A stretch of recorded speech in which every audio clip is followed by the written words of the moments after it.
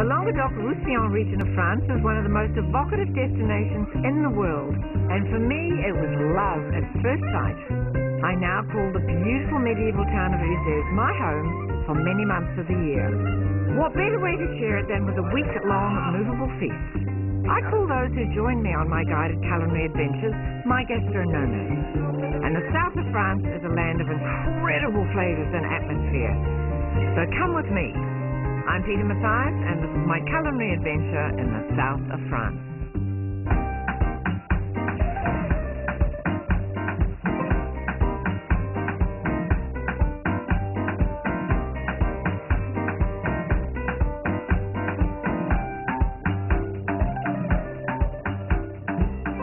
The vineyards of France's Languedoc-Roussillon are one of the region's most defining features. Stretching from the Rhone River in the east to the Pyrenees Mountains and Spain in the west, this area produces around a third of France's wine. The Languedoc region is the biggest vineyard in the whole world. We're here in the Hérault Valley, which is carpeted with vineyards. The conditions here are absolutely sublime for growing wine because you've got the sea, you've got strong, healthy winds, you've got endless sunshine, and you've got a variety of terroirs all in the same area. Of course, people have been growing grapes here for over 2,000 years.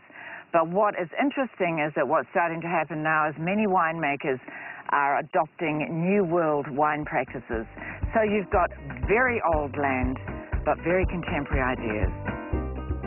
So in this episode, I meet some southern French vintners that time of year for these little French delicacies too. And my gastro nomads make the most of the luscious summer produce. Here in the Hérault Valley, mechanical pickers do the work of many hands. Post-World War II, this land became mass production wine country, with thousands of grape growers joining cooperatives. Languedoc-Roussillon was the biggest contributor to the European wine lake of the 1970s and 80s. Most of it, Le Gros Rouge, cheap red plonk. This vineyard and many others have been changing both the physical and commercial landscapes, pulling up the ordinary old Languedoc vines and replanting with proven winners.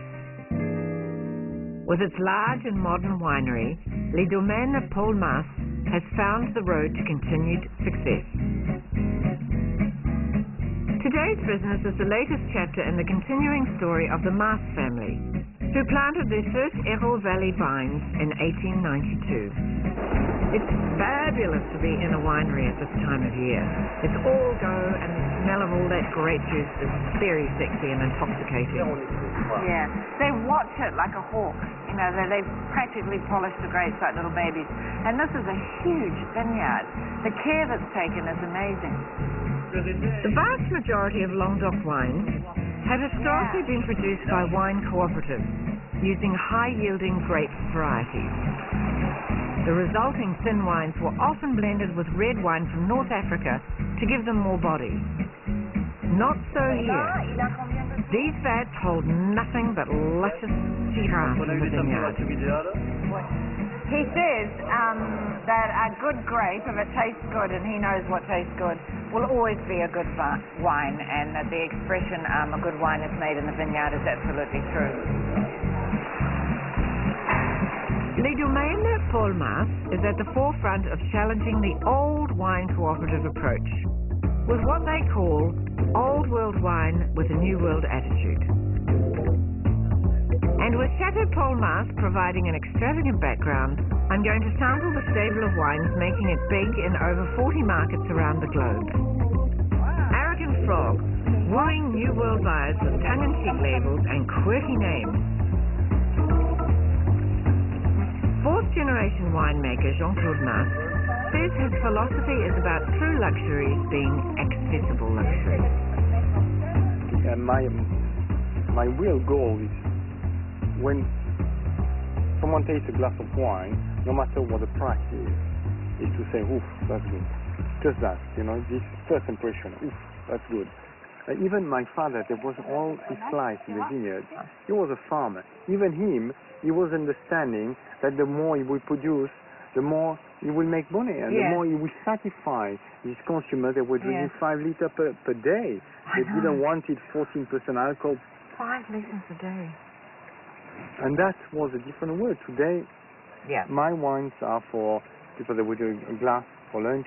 Or But they're also dinner. very accessible. Luxury is not uh, to have uh, the best cars, the best watches, the best. It's to have things that really give you the real emotion. And I think Mm. that, I think that the new age, probably, it's a new age luxury. And I think I want to be part of that with my wine. The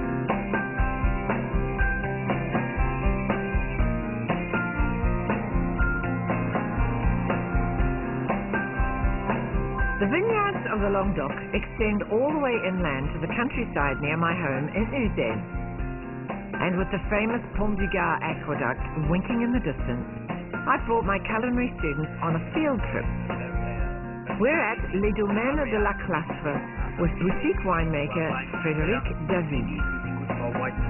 His is typical Rhone country with varying terroirs, white calcium-laden soils and red pebbles washed down from the Alps. There's nothing new world about Frederic and his father Alain's approach to this age-old craft. However, their wines are geared to a growing international market. They're organic, and around 20% of the harvest is made into kosher wine and exported to places like Israel, Toronto, and New York. It's organic. Same thing for uh, now. It has to be good and organic, or, or organic and good. Same thing for kosher. So a French vintner making kosher wine. How so? Well, it's all about exploiting a gap in a niche market too often besieged with bad quality. all the manipulation must be done by the rabbi or a delegate of the rabbi. So that means that I'm, in fact, the wine director. I choose which vines, which grape I put into the vat. Everything must be done by the rabbi. If I touch it, you know, as I'm not religious, or if a non-religious, uh, uh, if an, uh, someone who's not Jewish touch it, all the vat can be uh, dequalified, can, it can be not kosher. It will be wine, but it won't be used by religious people. While I can't vouch for the religious fervour of any of my gastronomes, they're devoutly enjoying the wine. And the 2009 kosher Le Mort de Lille is certainly worth crossing spiritual boundaries for.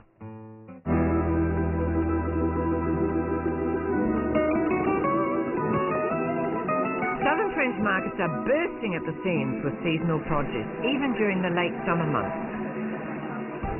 My market in Uzès is one of the best.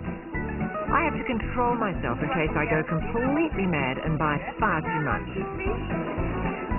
This is the time of year to indulge. This is a real tomato, you know, ugly, uneven, smells like heaven. The uglier tomato is probably the better it tastes. And of course, this is all organic. The Southern French are masters of preservation. Duck. Donkey. Uh, Cured meats or saucissons are always on the shopping list. You see all this white penicillin that's on the outside? That's good. That's what you want. And you don't need to put these in the fridge when you get home. You just hang them up and keep them nice and dry. Okay, yeah. One of my favorite stallholders sells preserves, fruit paste, and wine. And in this case, it comes especially blessed. This is Sister Ambrosia, who uh, comes from a Greek Orthodox convent, and the nuns make wine. Dans le monastère, nous sommes 15 sœurs il y a 7 nationalités. In the monastery, there are 15 sisters and seven nationalities. And they, um, they've got big kitchens where they make all this stuff, and they've got vineyards where they make wine as well. And I seldom depart without saying bonjour to my friend Cyril, local escargot vendor. These mollusky morsels are last year's snails. This year's harvest is still hiding under the boards, but not for much longer with the festive season approaching.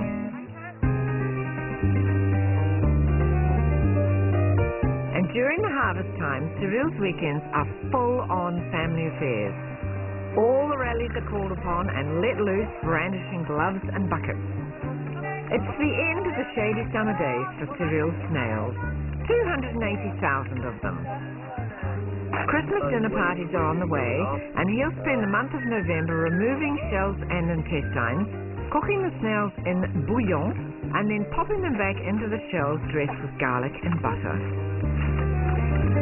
Uh, during the day, the snails stay here, and after I put the water, at 9 o'clock, they go out and they go to eat. You know, I make a food for snails here. It's a cereal like a blé, orange and maize. And I put uh, some grass, like that, that is uh, ray grass. Cyril couldn't achieve the harvest without family help. Escargot are labour intensive from go to woe. But at 42 euros a processed kilo, it's a worthwhile venture.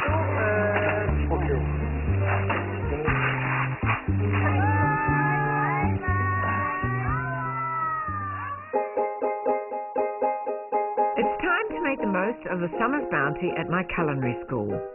The late summer sun is beaming on my week of southern French culinary classes. But basking by the pool at Mazdegoul takes second fiddle to the height of activity in the kitchen. On the menu, a flat tomato tart, a delicious starter for tonight's dinner, and on the side, a very Moorish tomato jam. In the south of France, chefs, some chefs give whole cooking classes that last a week on only tomatoes. So this is a flat tart. This is another flat tart that doesn't have borders. There's the pasta. Yes. Stick it all out on the bench. Making your own pastry is a devotion, and some people just need a little coaxing in order to get on with it. But I figure I get true converts in the end, because when done properly, it is so rewarding. so you're just getting all that stuff in. You might, I might put a little bit more cold water in for you. So in the meantime, somebody can be chopping tomatoes. I don't know where the world would be without tomatoes. Just like to say that. They are endlessly versatile and they adore being slow cooked. Here you go, Maria. Who would like to roll out the other piece of pastry? Oh, you wanted to, didn't you? Yeah. That might, it could go a little bit further probably. But it's a good thing. told woe by these girls. Oh yeah, they're all experts now. We won't listen to them. Um. It's sisters in pastry making and any other topic of the day, and all talking at once. It's like trying to teach a class in a bird cage.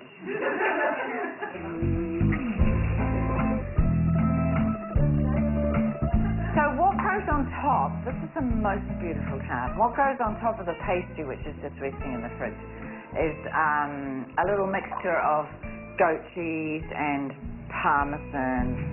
What I also have today is a flavoursome basil pesto, but you could just mix fresh basil leaves in with the cheese. Probably going to go home and say I'm never cooking again.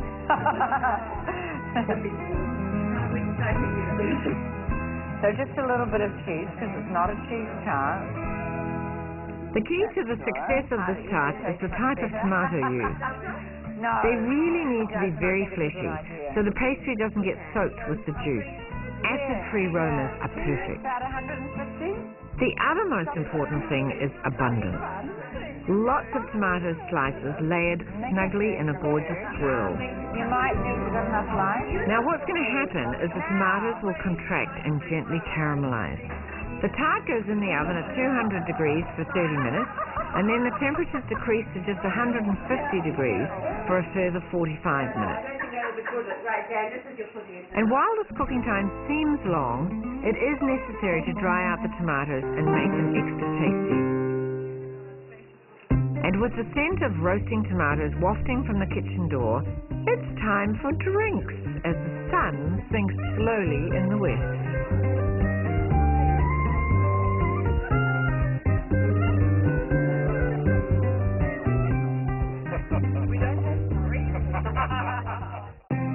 As late summer rays caress the rolling Uzès landscape, you can be sure that grape pickers all over the south of France are up with the birds. This harvest really is a family and friends affair. Love, not money, is motivating these busy hands pitching in, mum and dad included, to help an American lass with her romantic French wine venture. The Languedoc, where we are, is the biggest grape growing region in the whole of France.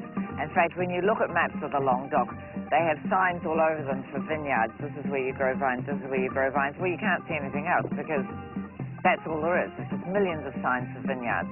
And it's 8 o'clock in the morning, and I'm here at my friend Amy's vineyard in Castillon du Gard, and her and her friends and family, who she's dragged out of bed, are picking grapes. Okay, this is um, Grenache that we're gonna pick, Peta. Yep. And it's um, it's No, you know, no, I'm a virgin. oh, oh, right, right. sorry, Okay, sorry, so I have instruments. It's hard to see, so what you're gonna do is come over here and just clip like this, and then you want to taste it. 'Cause course the best part about taste it. picking grapes is tasting how good that is. Are Are there ever any left by the end? Mm, yeah, because actually by the end you get sick of tasting. Oh, tasting. God. Isn't that amazing? I think this is wonderfully rustic. My friend Amy Lillard here, all the way from Colorado Springs, however, knows it's all about hard work. That's our sixth harvest. Everybody heard about Amy and Uzes. The word went around that there was this American girl thinking that she could make wine. and this, I mean, this is staunch, man. This is old. This is one of the oldest provinces in France. How did they react to you? I think Woman. they thought it was kind of amusing, really. Yes, to start with. Yes. That's yes, what happened to me yes, in Paris when I opened my restaurant. Right. They oh, thought, Oh, what a joke. Yeah, exactly. They thought, oh, look at this girl. She had a big straw hat on, driving a 1963 Massey Ferguson tractor, and so. But now they they take you very seriously. well, they see that we've stuck with it. They see that we do all the work. It's Matt and I. We don't have any employees. You can see around us. These are all our friends These people are not being paid. I'm not being paid. Produces her wine under the moniker La Gramière, and the commitment is to making biodynamic, hand-picked wines using only traditional Côte du grape varieties. But overall, when you look around you in this beautiful setting, and, and, and when you pick the grapes with your friends and family, it's such a rewarding thing. And when you put a bottle of wine on the table and it's you made it, there's nothing more amazing than that. yeah. So, to Domaine de la Gramière in the village of Saint-Quentin de la Poterie. The scene for this year's harvest party, where there's never any shortage of wine, it's also Amy and her husband Matt's home. it takes a certain amount of naivete to do what we did. It's like jumping into a stream, like the stream just takes you. So you just you just jump in and you just do it.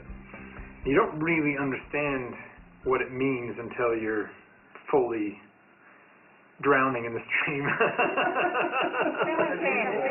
But with an export line home to the United States, and not to mention rave reviews, there's mileage yet in being a real French vigneron.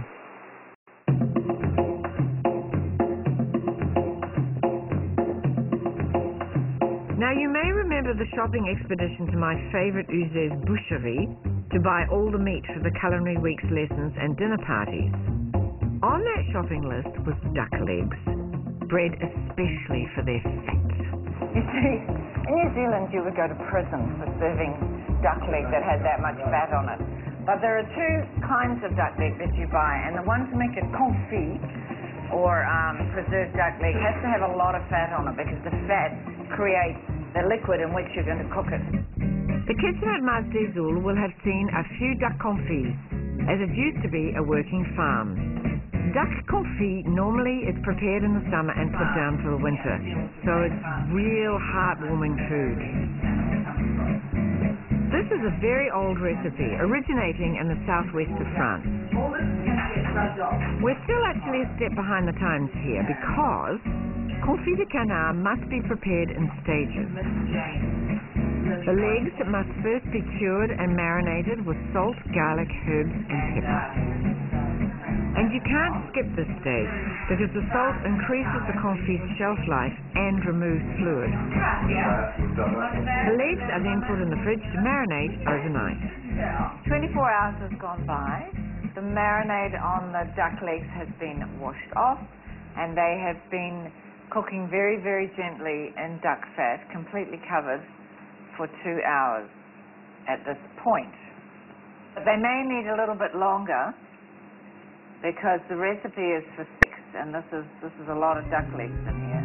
So I'm just going to have a look at one. You can see by the um, bubbles that it's just like barely, barely, barely a simmer. You wouldn't even call it a simmer. It's more like a caress. The, the duck legs sit in there, and the, and the duck fat caresses them for at least two hours. But I can tell just by touching this, it should be completely falling apart that it's not cooked enough yet. So I'm going to put it in for another half hour. Okay, these are now cooked. And so you drain them on trays. If you're going to preserve them and keep them and not eat them immediately, you um, you leave them in the fat and you preserve them that way, either in your basement or in your fridge. Um, if you're going to cook them, imme- uh, if you're going to grill them immediately, you lay them on trays like this, let um, the fat drip off, and then stick it under the grill because all you're doing with the grill is making the um, skin crispy. Duck fat ensures that you keep all your curves because the last thing you want to do is lose your curves. That's it for that stage. We're going to serve our, our tomato tart and our tomato jam as a starter. We've got two handsome young men as guests. And then we're going to quickly grill the duck legs to make the skin go crispy. David um, and Susie are sauteing potatoes, and we've got a green salad, just in case there's any weird people who feel that they need lettuce.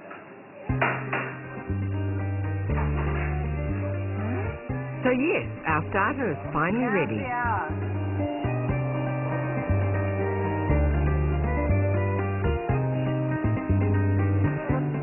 Slow baked to perfection, the flat tomato tart looks and smells like heaven.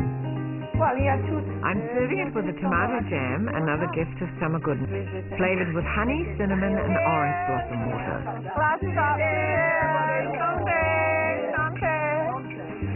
That's the starter. Here's the main. These are done, and they're called pomme de terre sarladaises, which is uh, basically potatoes cooked in the same duck or goose fat as the duck. Uh, and the traditional recipe is to put them in slices, salt them, dry them off, put them in the, mix them with the fat, let them take on the bottom and then turn them over until they all get all crispy. Mine's a different way of doing it, which is to do them in cubes like this, put in a little bit of um, vegetable cheese, vegetable cheese, because it's the kind of the air. And in the end, last two or three minutes of cooking, a handful of chopped up parsley a handful of chopped up garlic. It's a perfect heart attack accompaniment to uh, coffee canal. Thankfully, confit de canard takes so long to prepare and cook. This is special occasion food with a capital F for fat. Delicious food for the soul and thighs. As expected, the meat is falling from the bone, and my culinary students are happily dreaming of a time when they'll repeat the performance in their own kitchens. Join me next time for one last adventure in the south of France. The walled medieval town of Aigues-Mortes is the scene for endless salt flats, fiery flamenco dancers, dusky Arlesian maidens, ride-em cowboys, gypsies, and steaming mussels. I slurp up fabulous olive oil and a grand finale starring a wild chef.